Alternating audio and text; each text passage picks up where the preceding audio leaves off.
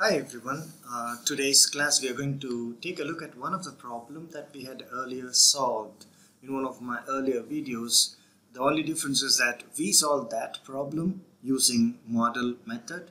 So based on a request from one of our viewers, I'm going to solve the same problem using algebra method right now.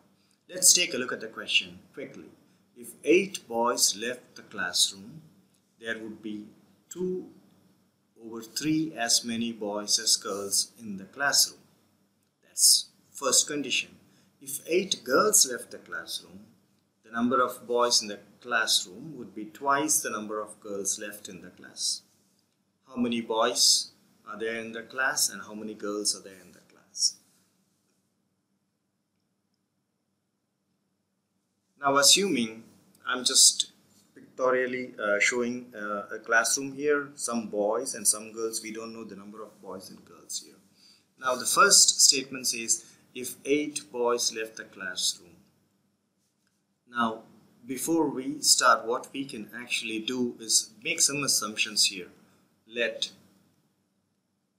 the number of boys right be represented by or x represent the number of boys.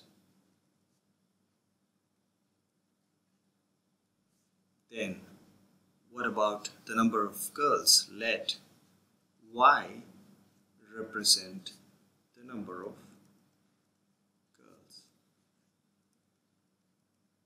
Once we have done this basic assumption, let's go back and revisit the condition number one. If eight boys left the classroom, then they're talking about the relationship between the boys and girls in the classroom after eight boys have left the classroom.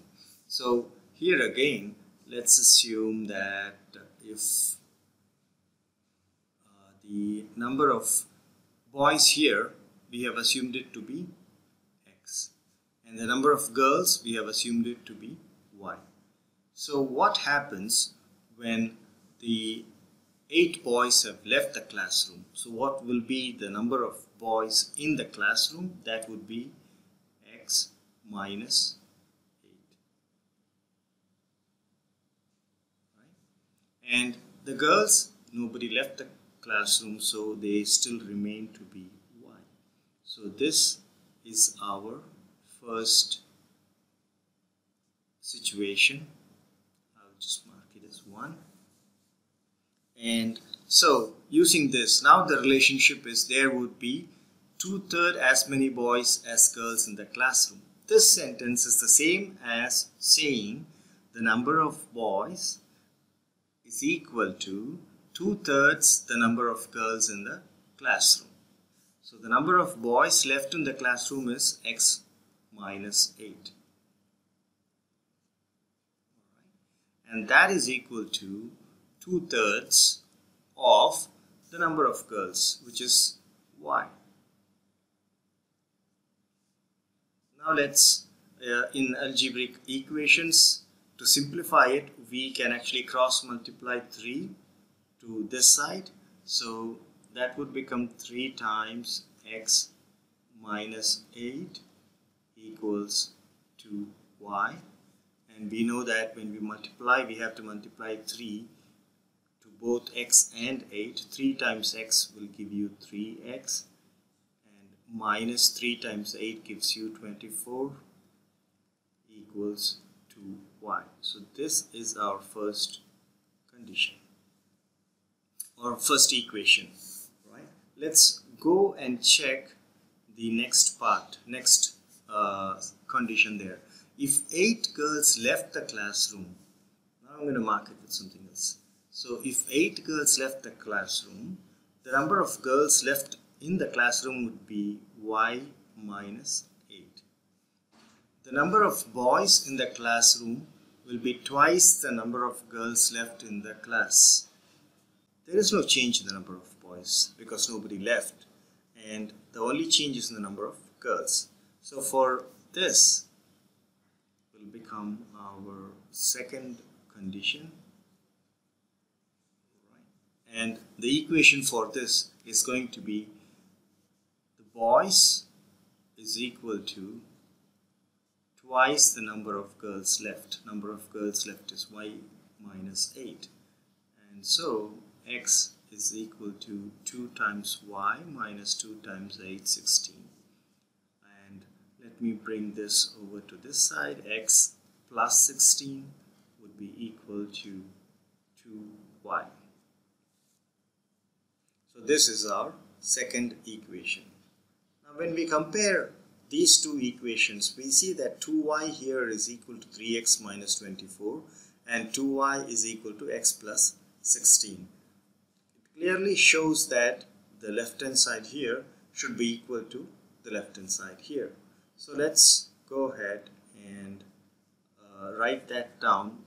So 3x minus 24 equals 2y here and we know that 2y is equal to x plus 16 so this will become x plus 16 and in solving this we will bring the x terms to one side.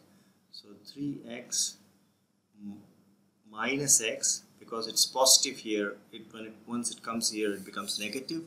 And here this side is equal to 16 plus 24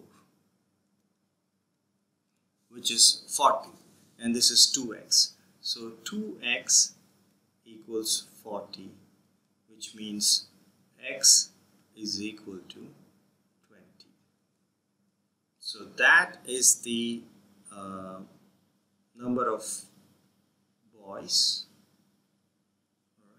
So x is equal to 20 gives the number of boys. So I can write down here as a separate statement here number of boys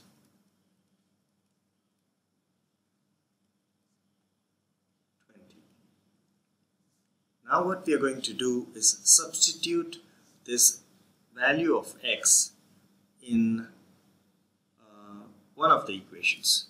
Let's say substitute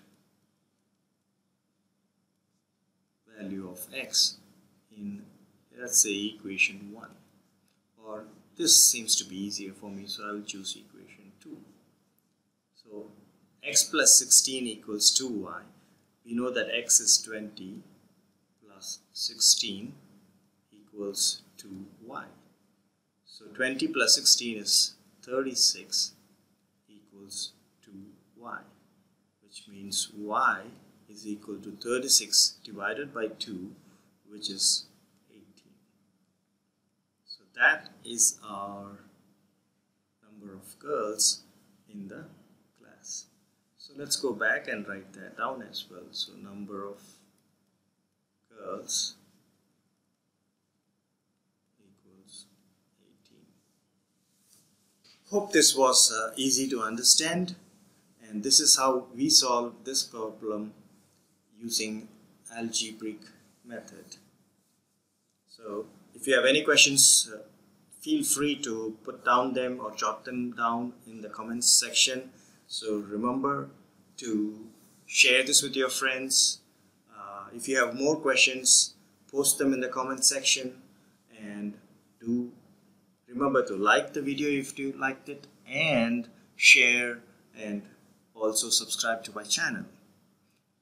Remember to click on the bell icon if you would like to receive more uh, videos from me.